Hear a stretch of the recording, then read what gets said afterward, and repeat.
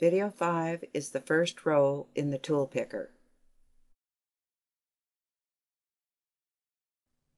Now we're going to talk about the tool picker and we're going to right click on the edge, tear it off.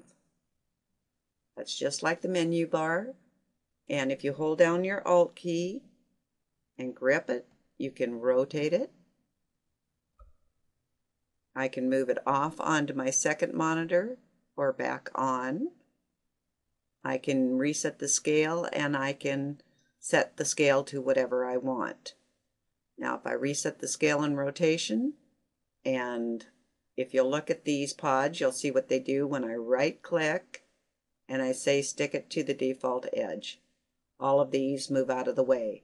That is so cool. Now another thing you can collapse it and then it becomes a pod or you can click it and it'll come back up. Now I want to go into edit into ArtRage preferences. I'm going to go into cursors and set my cursor to tool and click OK so that you can see what tool I'm working with. Now under settings if you click it it'll come up. If you right click on the title bar you can do all of the scaling that you want.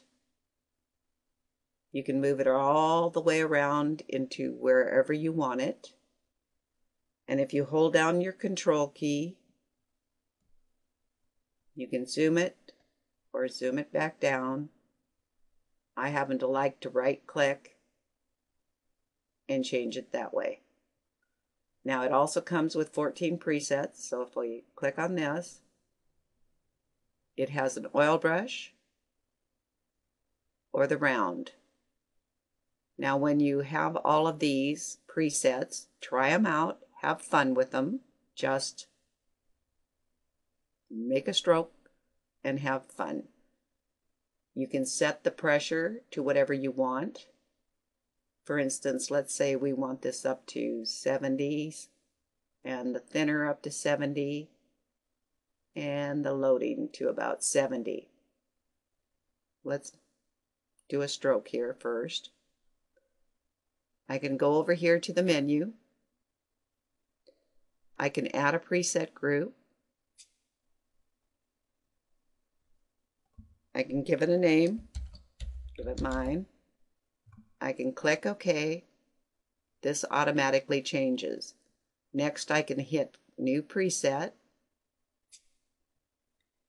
and let's say I want to call this oil 70. And if I click on this, I can either use the default preview image, which was of this brush, I can load a preview image, or I can sample the preview image. If I click on this one, this icon comes up and I can bring it down and then click the check mark and click OK. I then have a picture of what my oil brush looks like. And if I click on this, you'll now see that there are three groups. And I have oil 70. And this grip right here can be brought back up and made shorter or longer if I go back into the oil brush so that I can see them all. Over here we have instant dry and that means if I have it checked that my paint will instantly dry. I can have it as an auto clean. Let's move this up a little bit. If I uncheck it, the little glass comes up and I can dip my brush in as I please. I can either have a square head or a round head. And I can also reset. Now we'll, next is the watercolor brush. Again, it has a lot of brushes or presets. I'm going to clear my canvas. And you want to see them all, just bring the grip down and you've got it. Again, you can make the presets just like I showed you for the oil brush say you get one you've changed a bunch of pressures and color bleed and thinners, then just make a group and make a preset or even put it on this. You don't necessarily have to make a group. Now let's go into delicate on dry.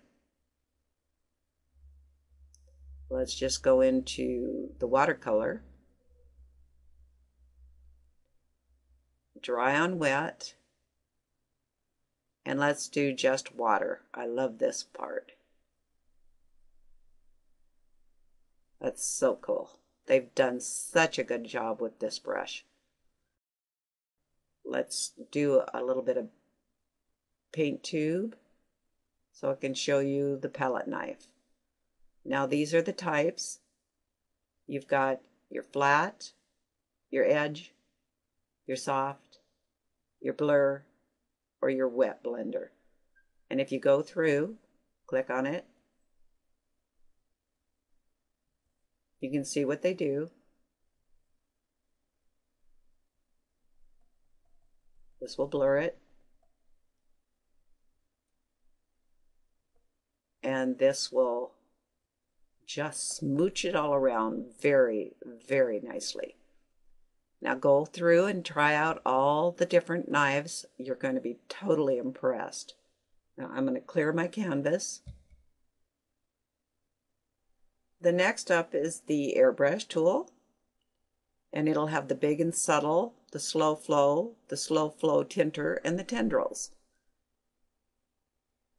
And of course, like all the other tools, you can change what, however you want it. You've got the big and subtle, can barely see it. The slow flow. The slow flow tinter. And the tendrils. Now this is my absolute favorite as far as the new tools. Mainly because when I tried to do anything that looked kind of pretty, it didn't. So if I go into the round and smooth, and let's say I put it up a little bit and I can move the smoothing either down or up. But if I go to do my initials, they look good. I now can put decent looking initials on my paintings. You're going to find that these are all wonderful. But if you go to the writing chisel, and let's move this up so you can see it a little better. And let's put some smoothing and clear the canvas. Let's do an initial or a letter. Now you see how jagged that is? Isn't that perfect? Calligraphers should really love this program. So have fun. Do your presets that you like.